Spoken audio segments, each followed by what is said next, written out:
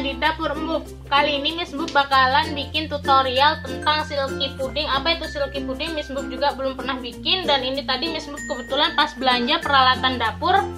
Miss Mbub lihat ini nih silky pudding dan Miss Mbub ambilnya rasa taro Miss Mbub juga penasaran, pasti kalian juga penasaran kan? Nah, sama-sama penasarannya, langsung aja kita bikin. Di sini ada satu pak silky pudding, yang seperti ini rasa taro itu beratnya 155 gram.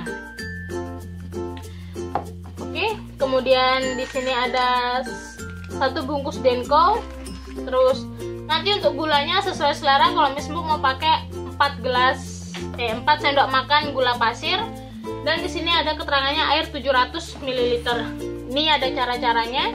Sebenarnya nggak ada susunya cuma misalnya tambahin susu sama tambahin gula aja Oke, langkah pertama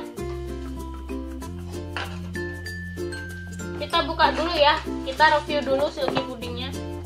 Oh, seperti ini. Oh, ternyata silky puding itu dari agar rasa ya, produknya agar rasa. Jadi kayak gini dia. Penasaran ya? Yuk langsung kita buka agar rasanya. Ini agar rasanya rasa vanilla.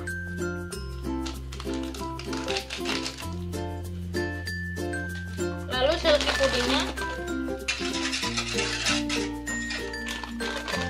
wow sepertinya udah bau susu ya.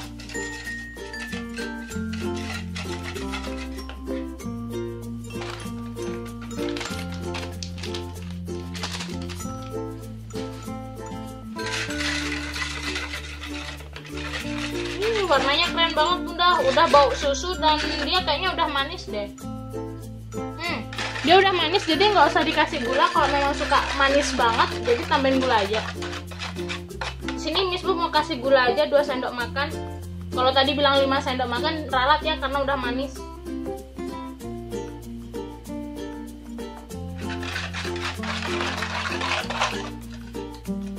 Dan kita masukkan satu satu saset susu dan kau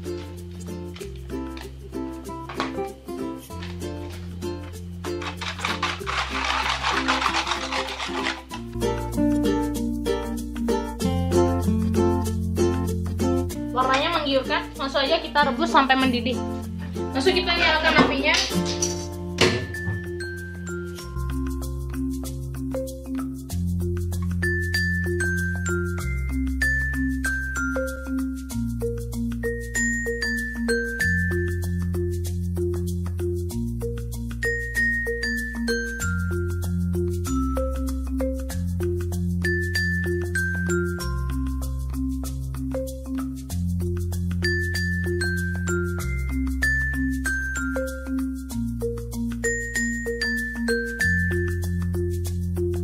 Nah, ini udah mendidih Bunda ya. Langsung aja kita taruh ke dalam cetakan.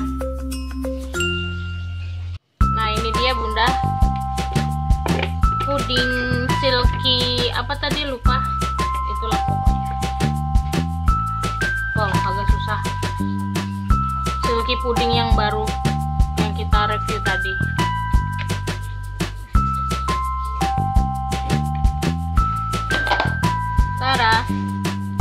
Silky puding rasa taruhnya udah jadi jangan lupa klik like subscribe comment like and share ya terima kasih